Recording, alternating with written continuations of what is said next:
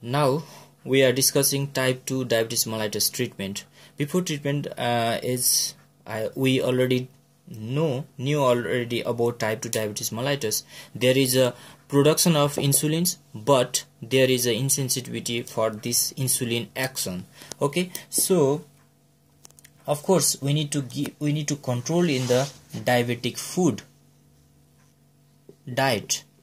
We need to control diet not fatty foods okay? And plus we need to do the exercise. We need to change lifestyle. Lifestyle okay? And plus oral medications for type 2 diabetes mellitus.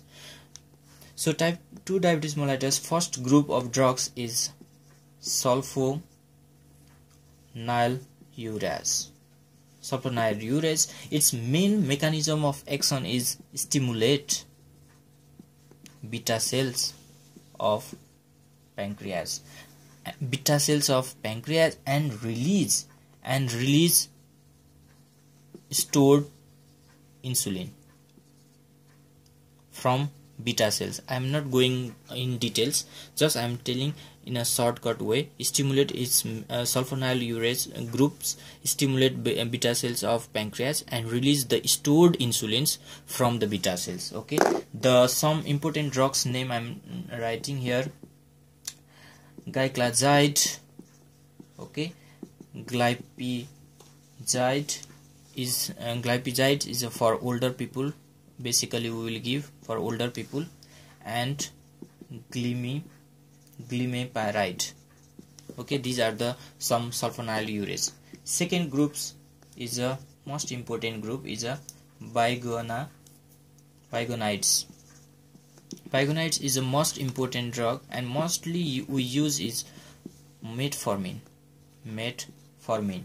Metformin 500 mg tds okay most most common most common useful drugs metformin it's of course its mechanism action also same peripheral utilization of glucose and inhibit the hepatic gluconeogenesis also. So this is the most common useful drugs metformin this is me mechanism actions peripheral utilization of glucose as well as the inhibit the glucose hepatic gluconeogenesis.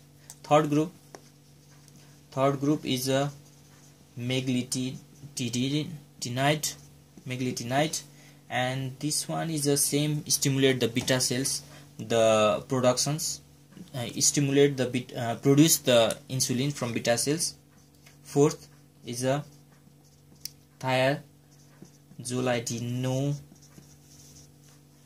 thiazolidinodinones very difficult name. Okay there is also increase the sensitivity. Its group functions also increase the sensitivity of peripheral tissue for insulins okay? And we will give the here is the most common is a rosy glitazone and peer glitazone okay?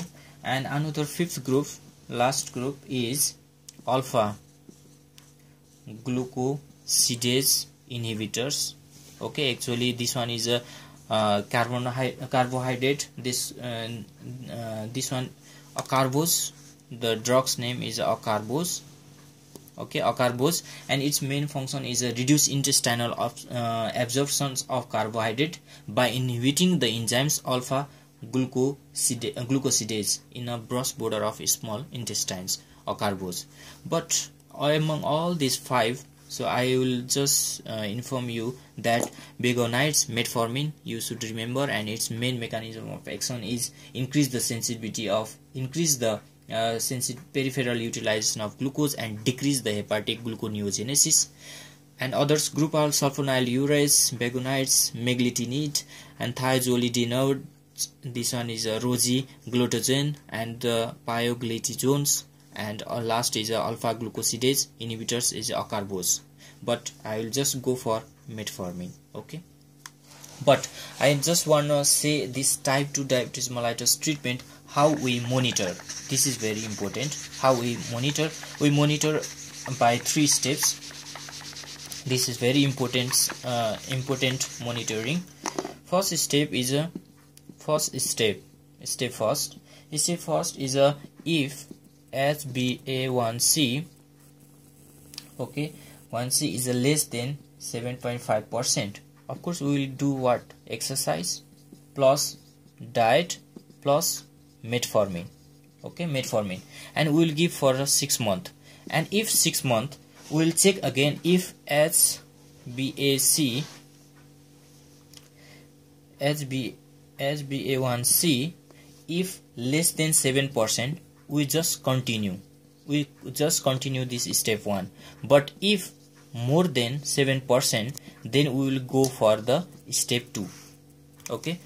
Now in a step 2 step 2 step 2 already we come to the step 2 in a step 2 is a if HbA 1c if 7.5 to 9 percent then of course we will do exercise plus diet control plus metformin metformin metformin plus one of sulfonylureas group. Metformin plus one of sulfonylureas and we will do continue for a six month. And again we will check the HbA1c we will check. And if less than 7% we continue. We continue second step. But if more than 7% then we will go for the step 3 and in step 3 what will happen? In step 3 uh, as we know HbA1c if more than 9% in step 3 of course we will do exercise plus diet diet plus metformin metformin plus intensive intensive insulin therapy insulin therapy. Then we'll give for 6 months again. And if HbA1c less than 7% we continue. But if more than 7% what we'll do? We change the dose. Change the dose. Okay? Again I will describe this monitoring of the type 2 diabetes mellitus treatment because type 2 diabetes mellitus treatment very difficult to monitor. So what we will do in step 1 we always this glycolated hemoglobin we will check. If less than 7% 7.5% what we will do exercise of course lifestyle will change diet we should control the fatty foods and metformin we will give for 6 months and after 6 months we will check up this glycolated hemoglobin. If less than 7% of course we will do continue but if more than 7% we will go for the step 2 in a step 2 the glycolated hemoglobin level is 7.5 to 9% so we will do exercise again diet metformin plus we will add the one more sulfonylureas group of drugs. And after 6 months again we will check this glycolated hemoglobin. If less than 7% we continue but if more than 7% we go for the step 3 step 3 means more complications.